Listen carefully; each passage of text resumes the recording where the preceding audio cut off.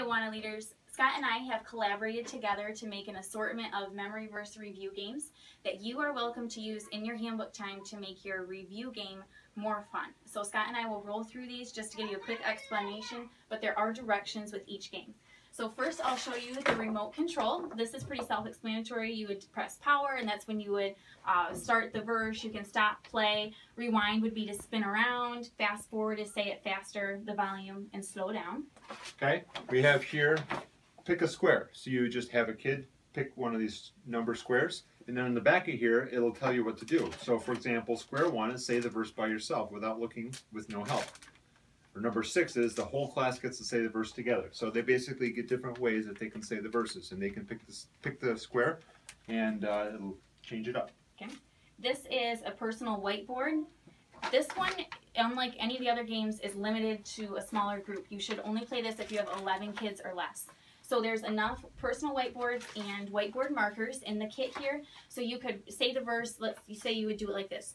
I would say John 3.16, for God so the world that he gave his only begotten son. And then you would ask the kids to pick what word was missing, so they would write loved on their personal whiteboard and hold it up and continue on with other words. Okay, this is called Places Stand Up. So it's got a number of cards in here, and the cards have different things, pictures with illustrations and names on them. So this one says zoo. So you would do, what you would do is say those who you pick this card out and say those who have been to the zoo stand up and say the card together, and then you can go on to the next card, which, which will be a different place.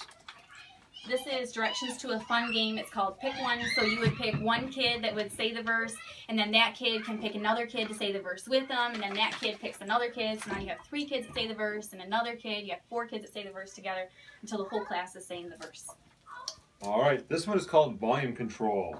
So with this one, you basically you can extend this down, and you can indicate whether you want the kids to say it really softly or you can point up here, oh sorry, to say it really loud. So that just gives you a chance to change the volume of the verse.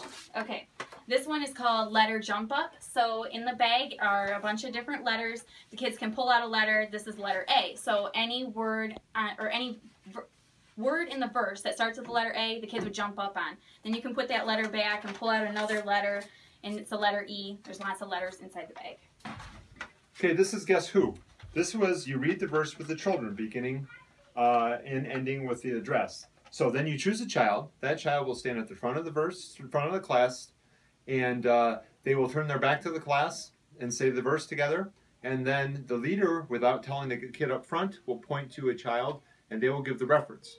And they'll disguise their voice. And the child who has their back to the class has to pick who said that. And then based upon that, you can choose who says the verse next. That one's one of my favorites. I love it. Okay, this one is pass the ball. So you would have all the kids stand in a circle and pass the ball around. They would each say one word to the verse. Then whichever kid is holding the ball at the end gets to choose an action that all of the kids would do when you say the verse the next time. Here are some examples of actions the kids could choose.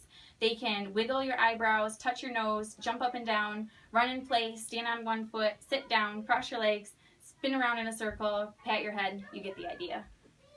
Okay, this is a this is a dice, a giant dice. So after you teach the kids the verse, you can roll this, and this will tell them how to say the verse next. So if this one comes up, they will jump up and down while they say the verse.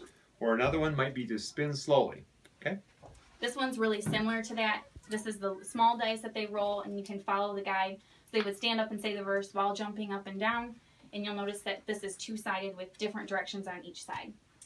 Our last game here is stop and go. This is uh, a fun one. So there's a stop sign and a go sign. So you would do go. The kids would start saying the verse and then you can stop.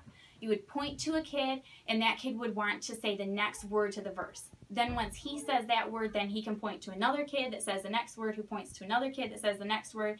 If anytime a kid doesn't know the word to the verse, then you can start over and you would go again and start working on the verse again. Another thing to remember, those are all the games note that right here, there are some whiteboard markers and an eraser. If you ever need some, you're welcome to take those and use them in your uh, handbook group. There's a first aid kit down here that you can use. Anything here on this shelf is for your use. Thank you.